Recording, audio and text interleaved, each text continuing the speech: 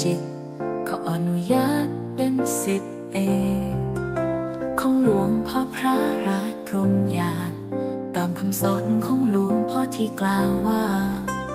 คนที่จะเป็นสิทธิ์เอกของหลวงพ่อต้องปฏิบัติตามนี้หนึ่งรักษาศีลห้าครบถ้วนเป็นปกติสองเคารพพุทธพระพุทธเจ้า เคารพพุทธในพระธรรมเคารพพุทธในพระปริยสงฆ์ไม่สงสัยในความดีของท่าน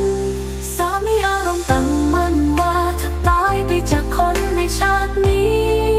เขอไม่ประนิพพานเพียงจุดเดียวเท่านั้น สิพยายามลดความโลภลดความโกรธลด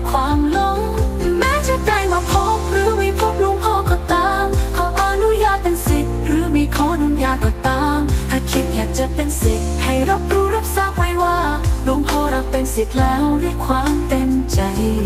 สาธุ สาธุ สาธุ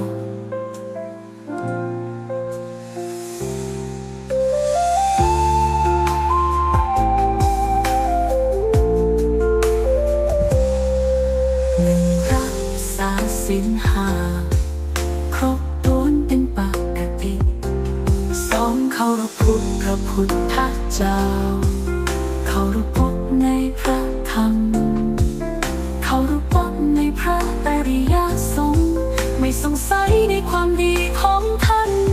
สามีอารมณ์ตั้งมั่นว่าถ้าตายไปจากคนในชาตินี้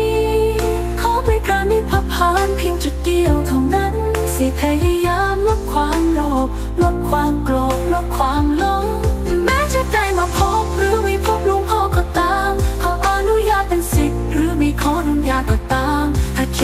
เป็นสิทธิ์ให้รับรู้รับทราบไว้ว่าหลวงพ่อรับเป็นสิทธิ์แล้วด้วยความเต็มใจ